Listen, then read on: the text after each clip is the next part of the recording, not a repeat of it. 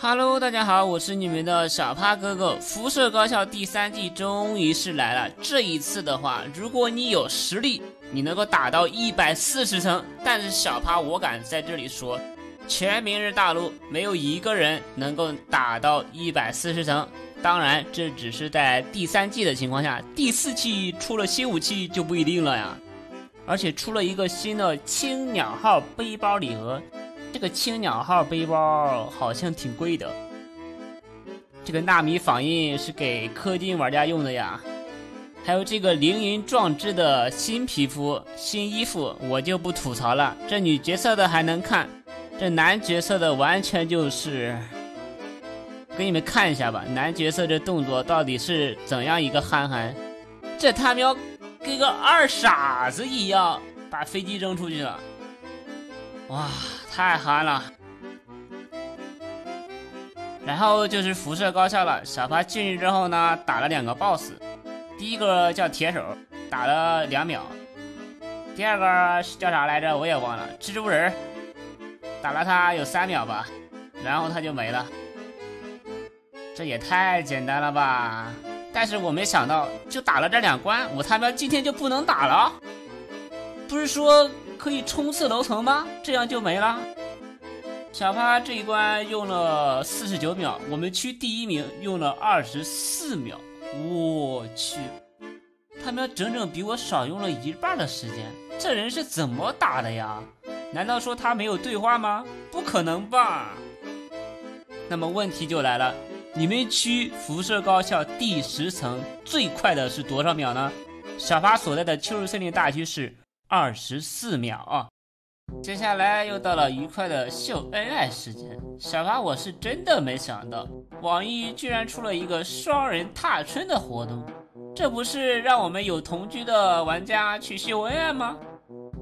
这一波狗粮吃的不能怪我呀，只能去怪网易。但是小趴在这里放风筝，却发现了一个非常严重的问题。我放风筝之后呢，准备拍照，然后我一点拍照。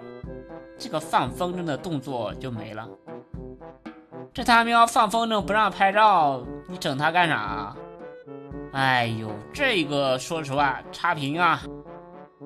后来呢，小八想了一个办法，就是让我的同居在这里放风筝，然后我去帮他截图，这样就可以拍到他放风筝的照片了。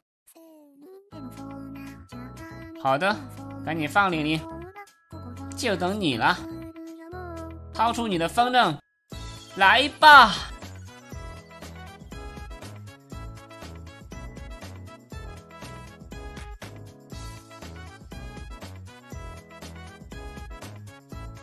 哇，我家玲玲真的是太可爱了呀，我的心都融化了。OK，接下来就是那个什么幽灵传说。小花在这里做完这个任务之后，遇到了 Rachel，然后咱们有两个选项可以选。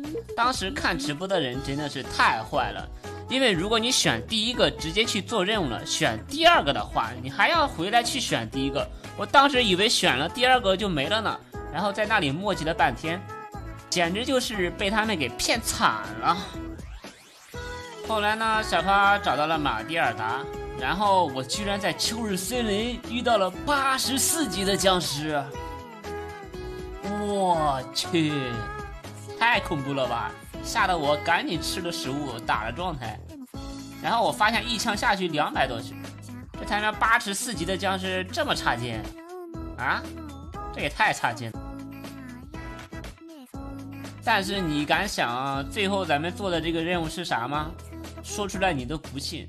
这马蒂尔达居然让我们去捡他的粑粑肥料，我敢说这个活动基本上所有的人都参加了，也就是说所有的人都捡了马蒂尔达的粑粑肥料。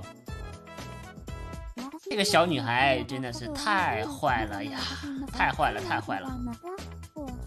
OK，说到这里，咱们秋日区的奋进号背包不对，是青鸟号背包，终于是有人上架了。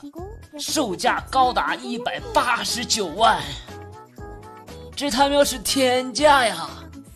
小怕我只有十五万六千六百六十七根金条，他要一百八十九万，这对我来说是一个天文数字。小趴，我还是默默的砍树、钓鱼、撩妹儿吧。